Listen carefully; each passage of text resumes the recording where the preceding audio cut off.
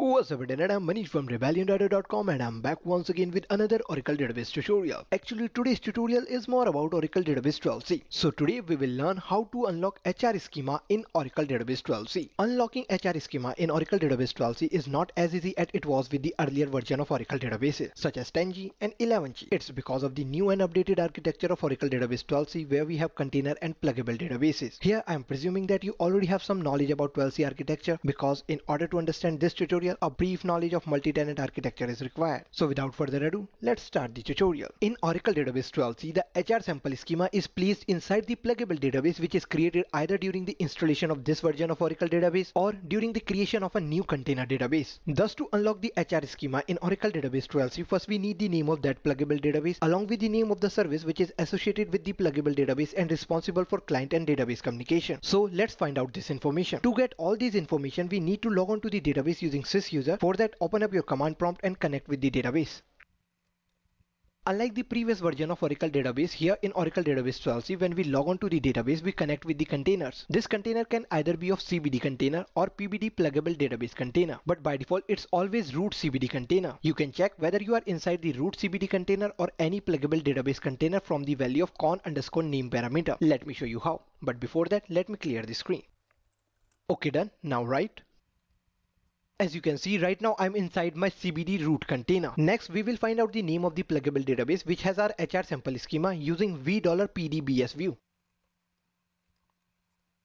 In this query, along with the name of all pluggable databases, I am also retrieving their container ID because using the corresponding value of con underscore ID column, we can easily find out the name of service which is associated with the pluggable database that we require. So hit enter and execute the query. And here we are. As you can see right now I have two pluggable database available in my system. First is PDB$SEED with the container ID 2. This is a default pluggable database that the system uses as a template for user created PDBs. Next is PDB ORCL which is the pluggable databases that was created by me during the installation of my Oracle 12c in the last video and has our HR sample schema. Thus we are going to use this PDB ORCL pluggable database to unlock our HR schema and using its container ID which here is 3 we will find out the name of its service. To find out the name of the service we will use v$active underscore services view. In most of the cases, Oracle software creates database and their service with same name. This query will return the name of the service of PDB ORCL as I have specified con ID 3 in the where condition. Let's execute. As you can see, the name of the service is also PDB ORCL. Next, we have to make an entry in our tnsname.ora file for the hassle-free login from our HR user and to avoid TNS ORA errors. So first, let's zoom out a little bit and come to our desktop. And here we go. Let's minimize this command prompt also.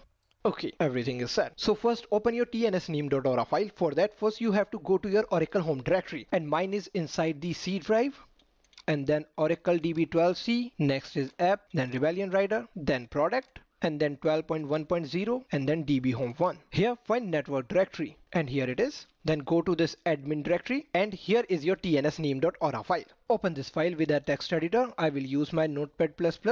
Now, though you can use netca to add a service entry, but here I will add the service entry manually just to save the time. To add PDB ORCL service entry, I will copy this ORCL service block and paste it at the end of the file. Now in this block we have to change two things. First is the name of the service entry and the value of the service underscore name tag. Just replace the name ORCL from PDB ORCL which is the name of our pluggable database and replace the value of service name tag again with PDB ORCL which is the name of the service which we just found out. Okay, save the file and exit. As we just changed the listener setting by adding a new service to it, thus we need to reload the listener to make all the services active. For that, open up your command prompt, but this time with administrative privilege. In order to do that, open your start menu and search for CMD. And then right click your cmd.exe and select run as administrator. Okay, and here we are. Now to reload the listener, just write. And to execute this, just hit enter. The command completed successfully. Now again, log on to your database using sysuser with sysdba privileges. But first, let me clear the screen. Now let's again log on to our database using our sysuser. And here we are.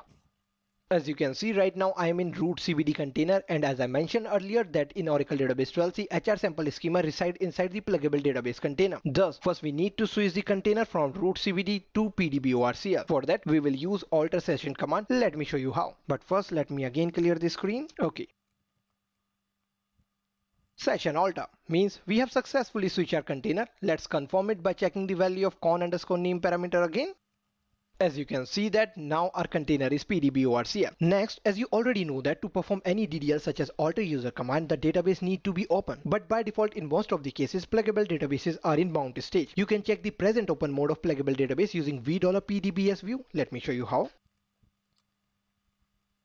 From the result returned from this query, we can clearly see that our pluggable database PDB ORCL is in the mount stage. So first we need to open this PDB ORCL database. For that, we have to use alter pluggable database DDL command. Let's see how. Okay, hit enter and execute pluggable database alter. Okay, let's once again confirm it. As you can see, our pluggable database is now open and ready for read and write operation. With this, we are done with all the settings and now we are all set to unlock the HR sample schema. And to unlock the HR sample schema, just write the legendary alter user command. Let me first clear the screen. Okay.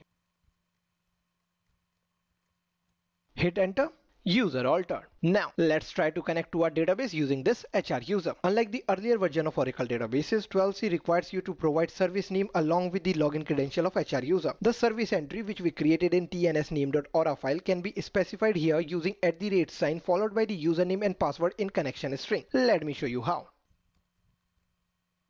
Let's hit enter and connect to our HR user.